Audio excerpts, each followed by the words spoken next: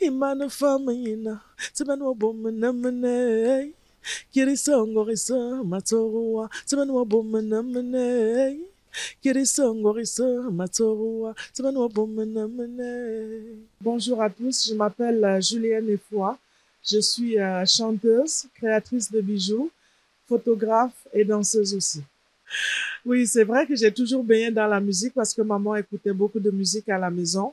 Et euh, plus tard, euh, je suis tombée sur une chanson de Otto Marcelin, Le soldat tirera.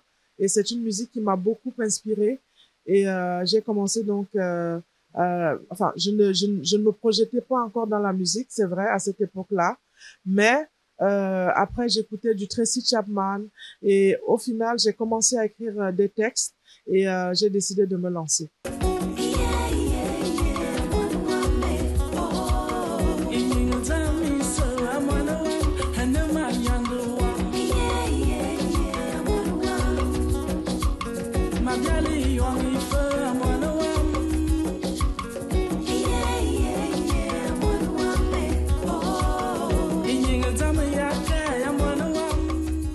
Alors, je me lance d'abord dans la musique il y a 15 ans, euh, quand je rencontre euh, Otto Marcelin, parce que j'ai un projet et euh, j'écrivais tellement de textes et je me dis, bah, je vais me tourner vers lui parce que c'est un artiste que j'admire et je fais un peu dans le même style de musique que lui.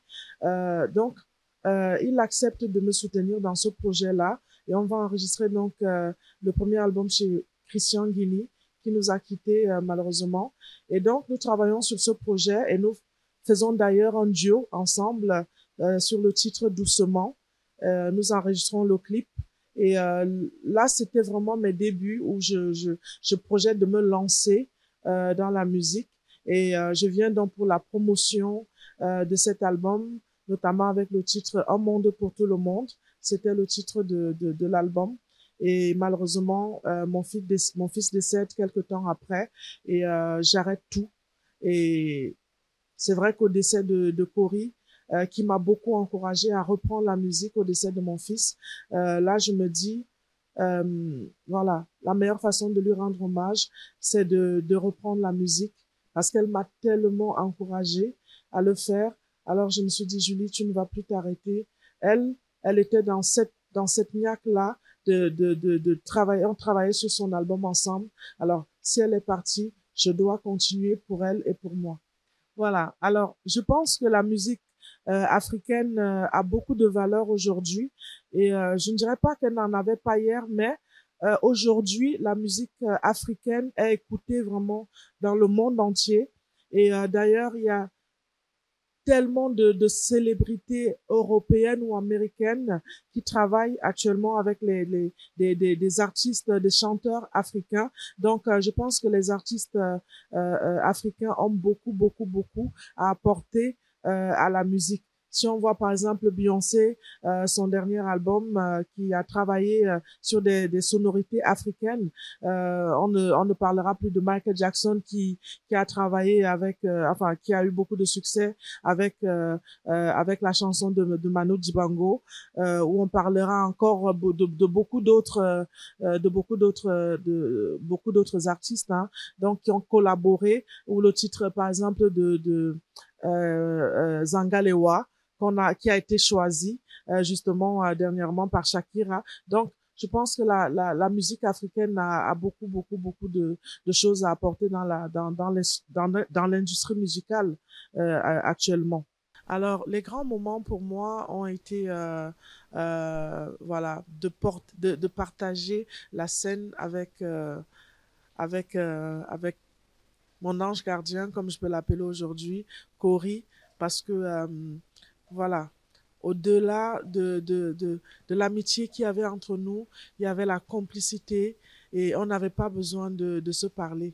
Et donc, euh, s'il y avait un événement, c'est elle qui m'encourageait, c'est elle qui me, parce que moi je suis une personne qui, qui était toujours un peu en retrait, donc c'est vraiment elle qui me disait toujours un peu, ok ma chérie, tu vas faire ceci.